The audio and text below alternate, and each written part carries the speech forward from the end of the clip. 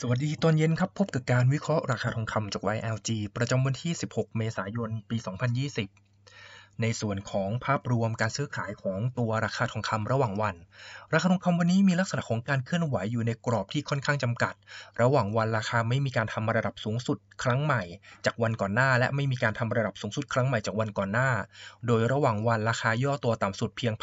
1,710 และขึ้นไปแต่ระดับสูงสุดได้เพียง 1,726 เหรียญดอลลาร์ต่อทรอยออนซ์ ปัจจุบันราคาอยู่บริเวณ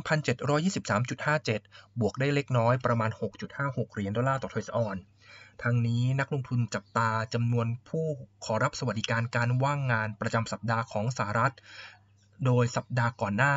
จำนวนผู้ขอรับสวัสดิการการว่างงานทะลุ 6 ล้านคนติดต่อ กัน 2 สัปดาห์ติดต่อกัน ขณะที่จำนวนชาวอเมริกันผู้ขอรับสวัสดิการการว่างงานรวม 3 สัปดาห์ที่ผ่านมา ทะลุ 16 ล้านคน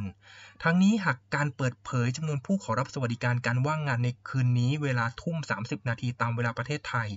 ยังคงอยู่ในระดับสูงใกล้เคียงกับช่วงที่ผ่านมา ต้องดูว่าตลาดจะตอบรับในลักษณะใด เนื่องจากวันนี้ยอดค้าปลีกของสหรัฐร่วงลงมากที่สุดเป็นประวัติการในเดือนมีนาคม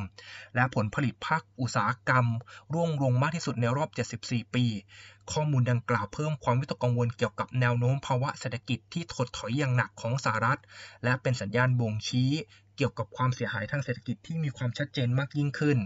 ความเสี่ยงดังกล่าวทำให้นักลงทุนเข้าถือครองสกุลเงินดอลลาร์สหรัฐ จนสร้างแรงกดดันกลับเข้าสู่ตัวตลาดทองคำทางนี้หากจำนวนผู้ขอรับสวัสดิการการว่างงานของสหรัฐ ยังคงอยู่ในระดับสูง และตลาดตอบรับในลักษณะของความวิตกกังวลในลักษณะดังกล่าว ดอลลาร์สหรัฐก็อาจจะได้รับแรงหนุนและกลับไปมีทิศทางแข็งค่ามากยิ่งขึ้น คล้ายกับการเปิดเผยตัวเลขภาคการผลิตและภาคอุตสาหกรรมวันนี้ที่มีทิศทางแย่ลง ประเด็นหรือสถานการณ์ดังกล่าวอาจกลับมาสร้างแรงขายเข้าสู่ตลาดทองคำได้เช่นกัน แต่อย่างไรแล้วก็ตามหากตลาดตอบรับในทางตรงกันข้าม โดยตลาดประเมินว่าตัวเลขที่ไม่ดี หรือไม่ดีในระดับที่ไม่ได้สูงมากนัก อาจจะทำให้ธนาคารกลางสหรัฐหรือว่าเฟดผ่อนคลายนโยบายการเงินเพิ่มเติม สถานการณ์ดังกล่าวอาจจะกลับมากดดันให้ดอลลาร์สหรัฐอ่อนค่าลง ราคาทองคำก็มีโอกาสขยับหรือมีการฟื้นตัวขึ้นได้เช่นกัน ดังนั้นอาจจะต้องดูทิศทางตัวเลขเศรษฐกิจ ว่ามีทิศทางแย่มากน้อยเพียงใด และตลาดตอบรับในลักษณะใด ในส่วนของปัจจัยพื้นฐานที่ส่งผลต่อการเคลื่อนไหวของตัวราคาทองคำทั้งนี้ในส่วนของตัวราคาทองคำยังคงได้รับแรงหนุนจาก EIU เตือนเศรษฐกิจโลกเสี่ยงเข้าสู่ภาวะถดถอยซ้ำซ้อน ทางนี้มีการคาดการถึงแนวโน้มเศรษฐกิจของโลกว่าอาจจะมีทิศทางชะลอตัวลงจากการระบาดของเชื้อไวรัสโควิด -19 ไม่ว่าจะเป็นทิศทางของสหภาพยุโรป อังกฤษ โดยการแสดงความคิดเห็นและความเสี่ยงในลักษณะดังกล่าว ยังคงเป็นปัจจัยตัวหนึ่งที่สร้างแรงกดดันต่อการลงทุนในตัวสินทรัพย์เสี่ยงต่างๆ และยังคงเป็นปัจจัยตัวหนึ่งที่กลับเข้ามากระตุ้น และสร้างแรงซื้อเข้าสู่ตัวตลาดทองคำในฐานะสินทรัพย์ปลอดภัย นอกจากนี้ทองคำได้รับแรงหนุนเพิ่มเติม จากการที่นายกรัฐมนตรีอังกฤษไฟเขียวร้านค้าขนาดเล็ก ให้เปิดดำเนินกิจการ แนวโน้มดังกล่าวทำให้ การล็อกดาวน์มีท่าทีที่ผ่อนคลายมากยิ่งขึ้น และอาจจะทำให้เศรษฐกิจในยูโรโซนมีมีท่าทีที่ชะลอตัวลงน้อยกว่าที่มีการคาดการหรือประเมินไว้ สถานการณ์ดังกล่าวเป็นปัจจัยตัวหนึ่งที่กลับเข้ามากระตุ้น และส่งผลเชิงบวกต่อราคาทองคำที่มีการเคลื่อนไหวไปในทิศทางเดียวกับตัวทิศทางของสกุลเงินยูโร อย่างไรก็ตามราคาทองคำยังได้รับแรงกดดันจาก ความหวังว่าสหรัฐอาจจะทยอยเปิดเศรษฐกิจอีกครั้งในวันที่ 1 พฤษภาคม หากทิศทางสถานการณ์การระบาดของเชื้อไวรัสโควิด -19 มีสถานการณ์ที่บรรเทาเบาบางหรือคลี่คลายมากยิ่งขึ้น ทั้งนี้ผออศูนย์ควบคุมโรคโควิด -19 มีการบ่งชี้ว่า 20 รัฐของสหรัฐพร้อมที่จะเปิดเศรษฐกิจอีกครั้งในวันที่ 1 พฤษภาคม แนวโน้มหรือสถานการณ์ดังกล่าวเป็นปัจจัยตัวหนึ่งที่สร้างความหวังว่าเศรษฐกิจในฝั่งสหรัฐ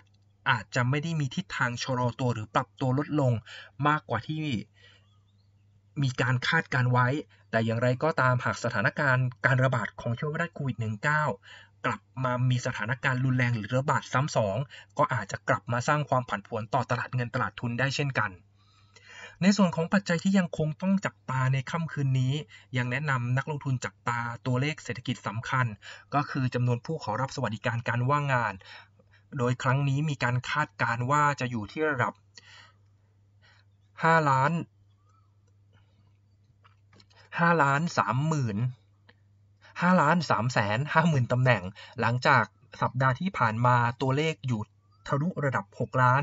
อย่างไรแล้วก็ตามยังมีหลายค่ายหรือไล่ฝ่าย ที่ออกมาคาดการตัวเลขโดยเฉลี่ย อาจจะอยู่ในเกณฑ์ 5 ถึงระดับ 3 ล้านลาย สถานการณ์หรือปัจจัยดังกล่าวยังคงเป็นปัจจัยตัวหนึ่ง ที่อาจจะส่งผลต่อทิศทางดอลลาร์สหรัฐ และส่งผลต่อการเคลื่อนไหวของตัวราคาทองคำเพิ่มเติม นอกจากนี้แล้วในส่วนของค่ำคืนนี้เวลา1ทุ่ม30 นาที จะมีการเปิดเผยในส่วนของตัวข้อมูลเศรษฐกิจในฝั่งสหรัฐ ไม่ว่าจะเป็นตัวเลขยอด การก่อสร้างบ้านและยอดการทำสัญญาขายบ้าน รวมทั้งดัชนี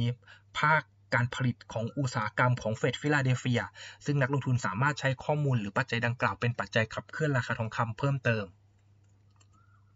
ในส่วนของตัวกลยุทธ์การลงทุน YLG ยังให้แนวรับแนวต้านในกรอบเดิม โดยยังคงเน้นการทำกำไรระยะสั้น โดยจับตาการเคลื่อนไหวของราคาทองคำ หากราคาทองคำขยับหรือดิดตัวขึ้นไปก่อน ให้จับตาแนวต้านในโซน 1,732 ถึง 1,774 เหรียญดอลลาร์ต่อทรัสออน ซึ่งเป็นระดับสูงสุดของวันนี้และเป็นระดับสูงสุดของปี 2020 หากราคาขยับหรือดิดตัวขึ้น ไม่ผ่าน หรือไม่สามารถทำระดับสูงสุดครั้งใหม่ได้ แนะนำให้ทยอยแบ่งทองคำออกขายเพื่อลดความเสี่ยง และรอการอ่อนตัวหรือการปรับฐานลงมาของราคาทองคำทั้งนี้อย่างไรก็ตามประเมินแนวรับ ระยะสั้นบริเวณ 1,706 เหรียญดอลลาร์ต่อทรัสออน และแนวรับบริเวณสำคัญบริเวณ 1,693 เหรียญดอลลาร์ต่อทรัสออน ซึ่งหากราคายังไม่หลุดกรอบดังกล่าว แนวโน้มหรือโมเมนตัมของตัวราคาทองคำยังมีลักษณะของการเคลื่อนไหวอยู่ในกรอบในทิศทางขาขึ้นอย่างไรก็แล้วก็ตามหากความผันผวนของราคาทองคำเพิ่มสูงขึ้น หรือว่าราคาเกิดหลุดกรอบ ทิศทางขาขึ้น หรือต่ำกว่าบริเวณ 1,693 เหรียญดอลลาร์ต่อทรัสออน แนะนำให้ stop loss หรือตัดขาดทุน เนื่องจากอาจจะเกิดแรงขายทำกำไรสลับออกมาในระดับที่ค่อนข้างสูงเช่นเดียวกัน และความผันผวนหรือการเหวี่ยงตัวของราคาอาจกลับมาเพิ่มสูงขึ้นอีกครั้ง ดังนั้นอาจติดตามการเคลื่อนไหวของราคาอย่างใกล้ชิด พร้อมปรับสถานะพอร์ตการลงทุน ตามการเคลื่อนไหวของราคาทองคำอีกครั้งหนึ่ง สำหรับวันนี้ทาง YLG ขอจบการรายงานภาวะตลาดเพียงเท่านี้ ขอบคุณครับ สวัสดีครับ